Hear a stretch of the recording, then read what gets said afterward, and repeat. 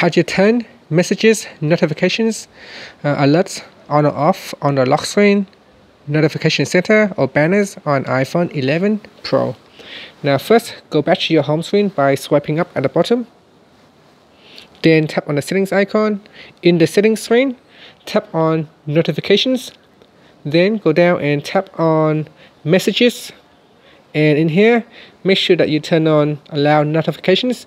And then after that, you could choose where to display uh, the notifications. So by default, all three is selected. So you could choose banners, uh, so if you don't want to receive um, notifications through banners, you can turn it off. Otherwise, if you don't have it, you can turn it back on.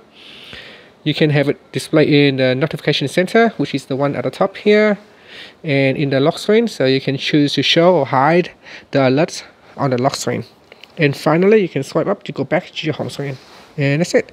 Thank you for watching this video. Please subscribe to my channel for more videos.